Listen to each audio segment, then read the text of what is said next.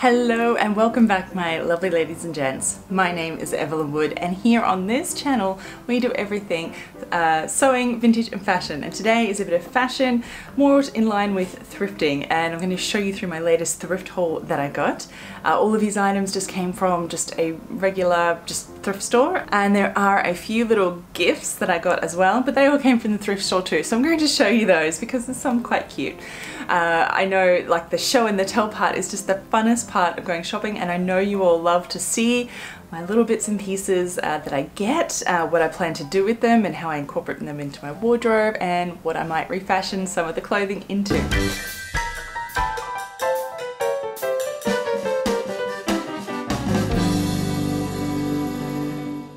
So here we go. Let's start with some patterns first of all. You know I'm a sucker for patterns and I always you know, I collect them and along with everything.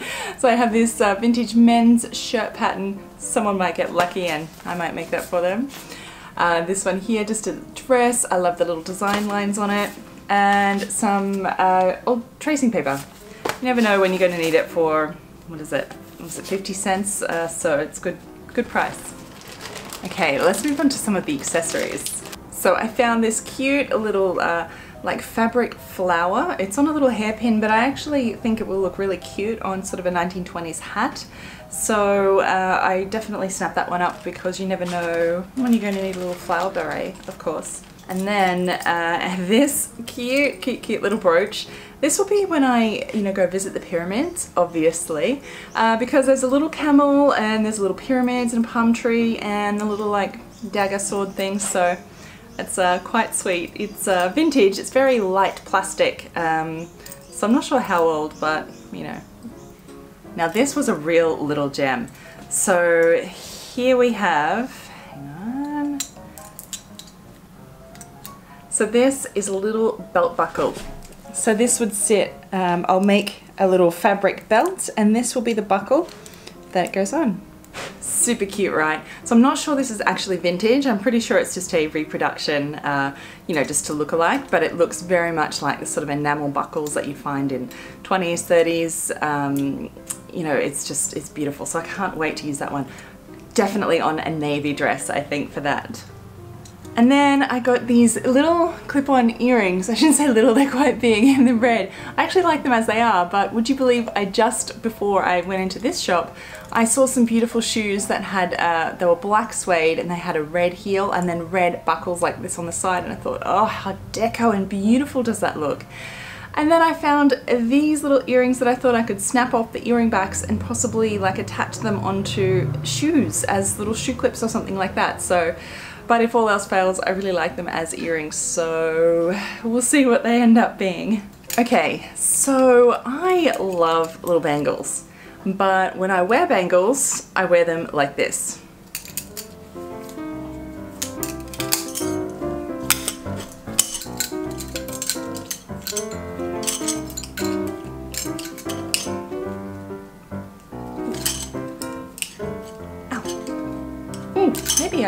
By mistake. Seems a bit small.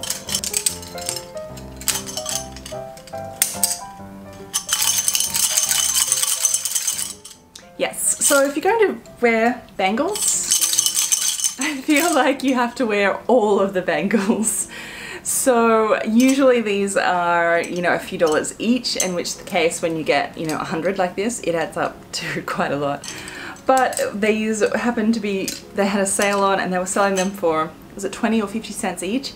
So I kind of went to town and got all of them that fit. And often these are usually a bit small um, for me, so uh, all of these ones were big enough to fit over my hands. So adding about, you know, 20 new bangles to my collection, but I think I've got enough now. So as much as I love to wear bangles like this, I can't wear them very often these days because if I'm sewing or filming anything video like, it's really annoying sound, right? and when I'm cutting and things like that, if I'm sewing, it um, is very noisy and they get in the way and it's, uh, yes, it's purely uh, something to wear for fun nights out. Because they make so much noise, now I have to take them off for you keep going. Okay, next up I got this beautiful uh, leather belt. So it's really soft and flexible and it's navy, which I just love. And it's nice, um, small enough to fit, nice little waisted uh, belt. So uh, I love that. I sort of, it's very vintage looking, so um, I'm really looking for sort of belts like this. Some skinnier ones is what I'm looking for next. Okay, let's get on to the clothing, right? Everyone wants to see the clothing. Okay, I found this uh, here, this little sort of chiffon top uh, that I thought what I might do is actually add sort of a little like um, long um, scarf, I guess, scarf-like uh, tie to the front to get that sort of 1920s look, um, just to wear with like black or white or colour. I thought that one would uh, work that way really well. And then I found this uh, cardigan. Now this may be really hard to see, but it's like, it's been permanently pleated, all of the fabric. So it's like accordion pleats and it's all crunched in. It's quite unusual. And then it has these cute little fan designs uh, on this the front here. So, and it's just cropped and it just sits like beautiful so unusual. So I might actually put some pearls or something through um, on these little fan sections. Um, it's just a little light uh, cardigan. Um, it's very unusual. I've never seen anything quite like this one. Okay, then I found this adorable little cropped um, knitted uh, little vest. So that just will sit through here. Pretty much this one's going to just be worn as is um, for just a nondescript vintage look. Another black unusual top. This one here is kind of a uh, crocheted type fabric, um, if you can see through it. Uh, yeah, so it's just plain v-neck style, but I really like that it's a very unusual fabric. Um, I'll probably wear it over the top and then uh, maybe put a belt around um, the waist area to sort of cinch it in or um, yeah, so I'm going to play around with this one. I love the sort of unusual textures and fabrics used in this one. And so I found this is something that I don't usually kind of get anything like this anymore. Um, is a knit dress, um, just a little high scoop neck and it just is quite long so it's a bit more sort of a 30s kind of length uh, and it has little ties um, so I just thought that this one will just make a great sort of little house dress when you want something really comfortable. Uh, I loved the print on this, this kind of geometric style. So yes, I don't usually uh, buy things like this um, anymore, but this one really struck me from the print and the comfortness um, for something really, really casual like. So you always need those items in your wardrobe. Okay, this one I could not just leave in the store. I found it and I just, the fabric, the print, look at this. Hang on. So this green is just to die for. Now you're probably thinking it just looks like a square. Yeah, it kind of does. So um, it actually has, it's sort of like a caftan type style. There's little um, uh, holes through here in which you would insert a belt and it would still sort of flap open like this. But I think what I'll do is actually turn it into a kimono style um, top. So I will cut in an armhole here, straight in, and then come down. So all of this will be gone, but keep the, the little sort of kimono type sleeve. So that's what I think that I'll do with this one. But look at this green, it's just, it's definitely my color. So I had to take this one home with me. Oh, and what I might do with the, uh, from the sides here where I take off uh, this border that is underneath the sleeve here. So this, this here, I might actually turn into a little uh, sort of some sort of collar or a little tie, like a little bow tie or something at the front there, just to really make it look a little sort of a 20s kind of 30s sort of blouse look. Okay, so they're the things that I got for myself. Now there are a few cute little items that I'll show you that I got um, gifted recently uh, from my lovely mum who knows exactly what I like. So first up is she, this necklace here. So it's um, completely beaded and it's actually got um, proper like diamantes in it rather than just all sequins.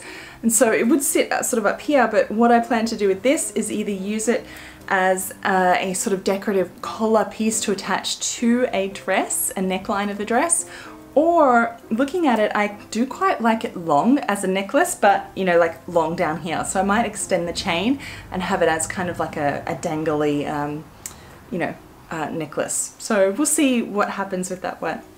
Okay, some really, really cute little jewelry. So this little brooch here is a trumpet. It is so cute.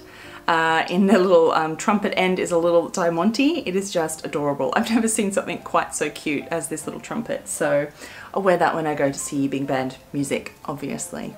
And then I have these cute, cute little fish earrings. Look at these. These are so cute. So uh, apparently they're probably dolphins rather than fish, but I'm calling them fish. So I love, I just think they're so cute. I love these. Just another pair of clip-on earrings. These ones are in gold, which is great because I don't really have many. And they're just really, really tiny, simple little roses with little diamantes in them. So these uh, little clip-ons will be fantastic to go with just the right outfit. Now, a couple of brooches. These are beautiful. So this one here, it's kind of um, gold and enamel and it's a little peacock. So um, it's so cute. It's just all my colors. I love peacocks. And then it kind of actually matches um, this one here, another one in the same style. Uh, just very, very deco looking brooch. So I love these to add a little bit of color to outfits and I wear brooches all of the time for so many different things. So always get the beautiful brooches when you go to the thrift store. And just another slip. So I always uh, love these. I love the pretty ones because I wear them mostly under everything pretty much. So it's always good to stock up on those. And then it all came in this beautiful little red container. So it's just very oriental. Um, I love red. Everything in my kitchen is going to be red eventually. And now that's it. That is my thrift haul that I've got recently. So just a few, um, you know, random items, about 400 bracelets. So, you know, uh, let me know in the comments below what your favorite item is. What of these would you have not left the shop with as well? So that I don't feel so bad knowing that uh, I can't help myself bringing things home with me, all my little treasures. So I really hope that you enjoyed watching and giving you a bit of an insight into what I get from my wardrobe and my house um, and what vintage inspired things that you might be able to get uh, to incorporate into your life as well. So thanks so very much for watching and remember like this video if you like it let me know your favorite uh, you know your favorite treasures that I've got below what you couldn't leave behind and until next time bye so if you're wondering this is the one making all the noise. Yes, this is my little Esme, whom is camera shy and won't look at you, I'm sorry. Hmm.